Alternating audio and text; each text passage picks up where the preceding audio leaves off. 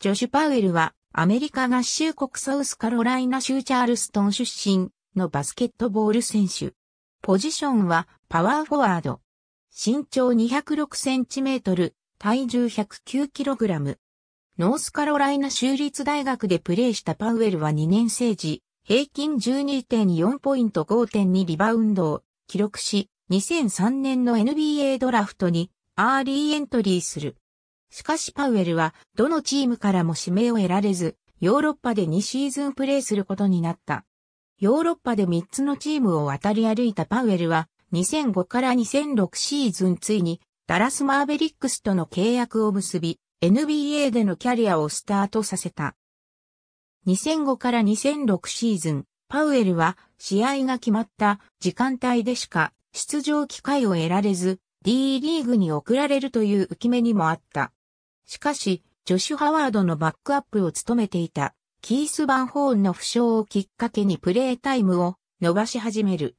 シーズン終盤、チームはプレーオフ出場を早々に決めたため主力のダーク、ノビツキーを休ませ、結果的にパウエルの出場機会は増えた。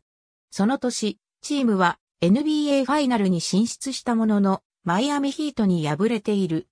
2006年オフ、パウエルはダレル・アームストロングらと共にアンソニー・ジョンソンとの引き換えでインディアナ・ペーサーズへ放出された。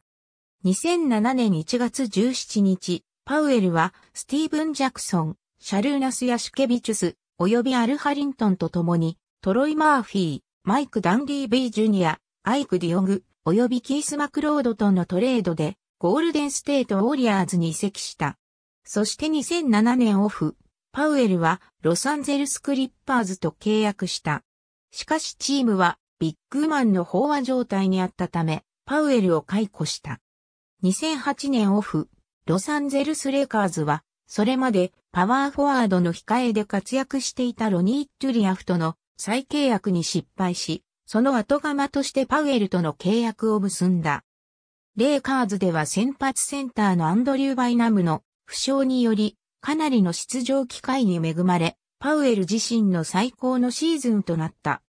その後、バイナムの復帰により、プレータイムは減少したものの、チームは2年連続で NBA ファイナルに進出。ファイナルでパウエルはベンチ要員としてチームに貢献。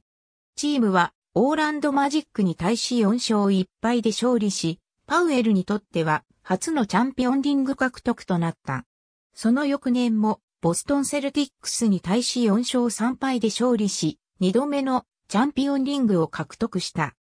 2010年オフ、アトランタホークスと契約した。2011年から2012年にかけては、中国、プエルトリコの海外プロリーグでプレーした。2012年9月のトレーニングキャンプ直前に、サンアントニオスパーズと契約したが、シーズン開幕前に解雇された。